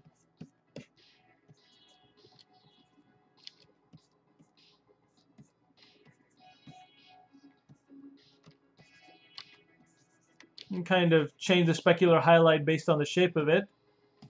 Or to, to really describe the shape of it. Which is that it's a claw, it's a little pointy part. So it can be bit brighter up at the top. You can kind of pull that idea into the white of the thumbs as well.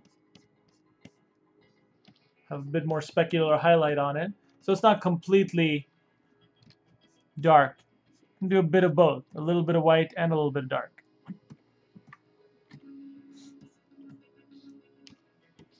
use that white sparingly on your body as well because these are mushrooms you know they're a bit slimy creatures. So you can come in and add some highlights.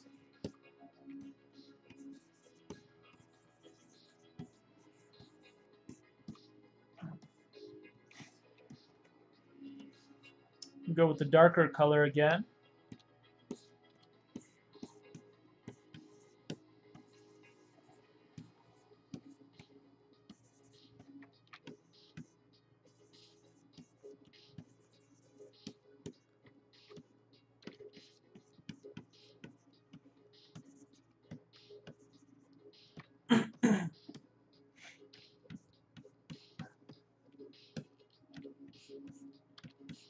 Don't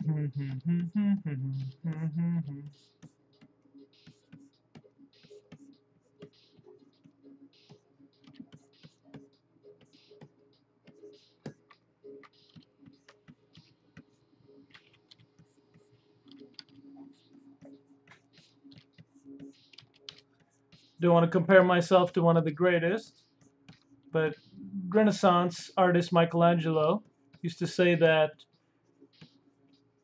he's just pulling stuff out of the marble that's already there. Because people were asking him, how does he do it? How does he see all this stuff in there? But it was already there, he says. And he just kind of chiseled it out. That's kind of what we're trying to do here. It's what I'm trying to do every time.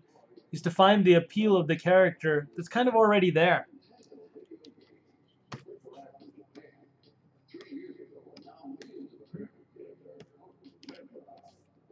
Let's see.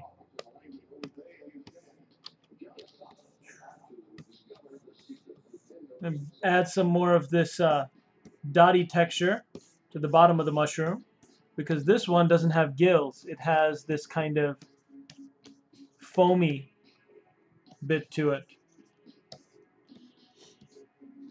And I'll think about surface texture overall later. Right now I just kind of want to refine it.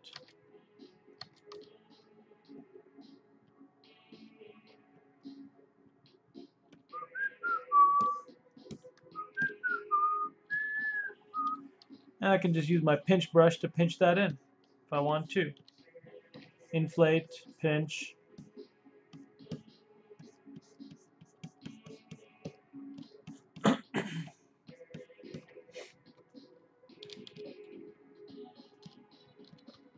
it's a balance. Balance between wearing a mushroom hat and actually being a mushroom. You got to find that balance.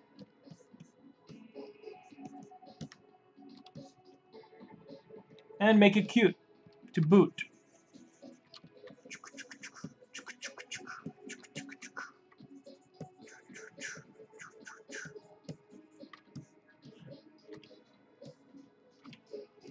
Alright, let's see if we can play around with some texture again.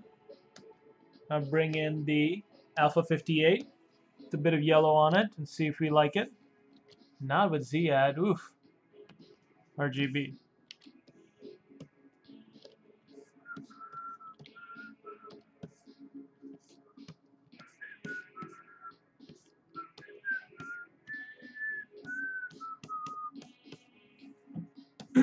Bring in some more of the pink.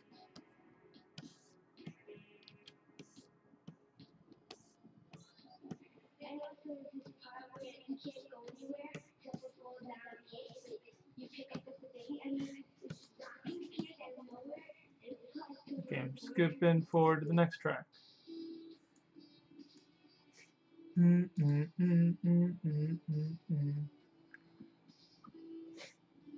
Okay, let's see what you guys are saying on Twitch.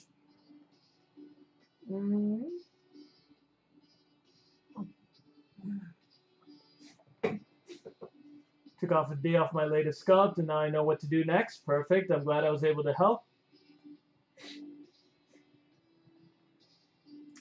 Turn it into dust. Okay. Small model he'd made in a container of water, then drained the water slowly away from the model, erased up the model as he worked on the larger final sculpture. Oh, you're talking about Michelangelo. That's true.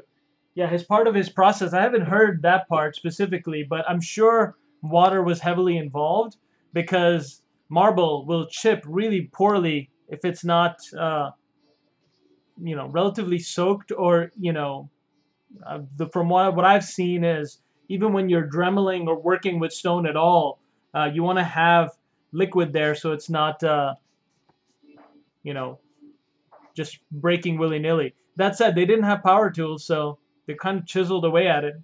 I'm sure I'll have to look more into his process. I did get to see a lot of it this time when I went to uh, Rome back in September. All right, going a bit dark again.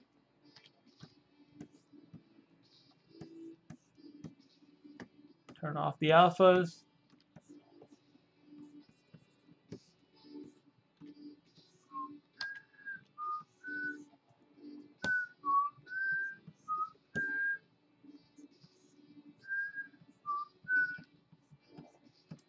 My favorite Renaissance sculptor, though, if I had to pick, is not Michelangelo. It'd be a tie either between Caravaggio, who's more of a painter, or uh, you know, not even Renaissance, but uh, see, let me find this sculptor. Rodin, Auguste Rodin. I feel like he kind of took it to the ultimate level as far as expressionism in his sculpt. So if you look at a lot of Rodin sculptures, they're very expressive. They're dynamic. They're really pushing the boundaries. He did the famous Thinker uh, that I'm sure you guys have seen. Um, what else? That he did like this really famous one called the Gates of Hell, which has a ton of different statues built into it. Let's see. Let me go with tool size large. So this is definitely one of my favorite sculptors, just because of his expressiveness in all of his sculpts, and and in the actual technique, it's very uh, no, not not smooth. It's not perfect, he makes the hands larger than they would be. He makes uh, a lot of the marks are visible on the mesh, uh, on the sculpt that he's doing. But yeah, definitely look up Auguste Rodin. There's the Gates of Hell sculpture. You can see all the different sculpts going on in it.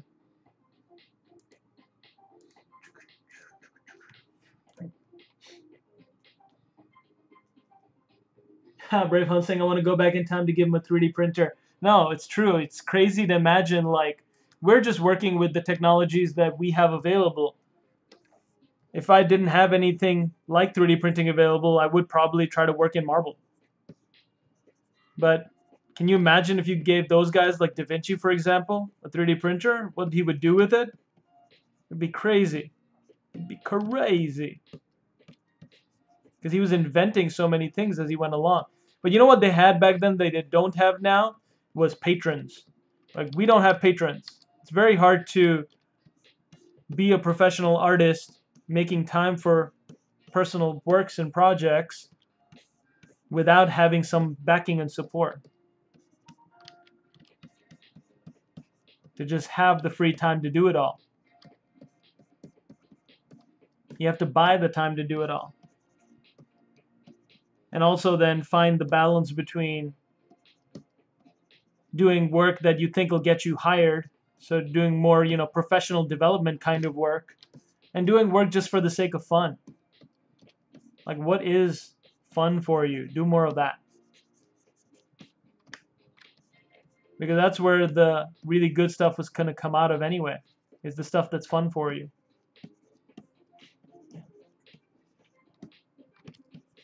All right.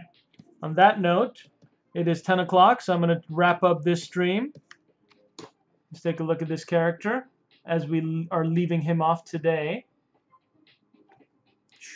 And we'll probably revisit him again later. You know, that is looking too much like chest hair or something, so I'm going to simplify that paint job a bit. Bring in that pink again. Just hint at it more than be fully committed to it.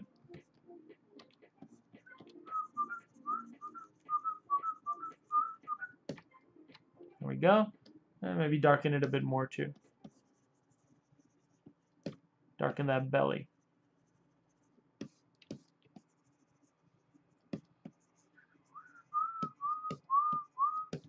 All right, perfect.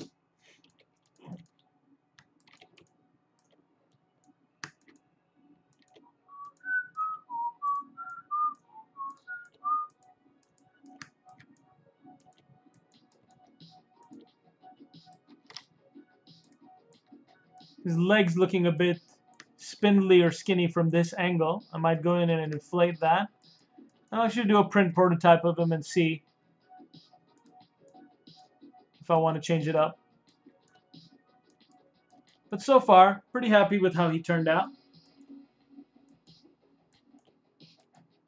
I'll likely keep working at it and try to figure out how to make him a bit more appealing and a bit more printer friendly and yeah, let's keep at it. Thanks for joining me in this part of the stream. Let's see. E104. Good luck this week working on your own personal projects, guys. Highly encourage you to. And I hope you guys enjoyed that. Let's see. Brave Hunt saying, great man. Let's see, thanks. Be so much saying, you're so good. I'm okay. Let's see. Joanne saying that's why a lot of work by artists was portraiture for private clients and allegorical work for the church. Yeah, they were the big uh, patrons back in the day. The church, the bishop, the saints. Oh, thank you for joining me for this stream. So cool to hear about your uncle who was a stonemason, Joanne. That's awesome. I'd love to make a gargoyle for a cathedral. Hashtag life goals. All right. Okay, guys. Signing off now. Thanks again for joining, and see me next week, Monday, where we'll talk a bit more about retopology, show you the print prototype for this guy, and then we'll take it from there. Laters.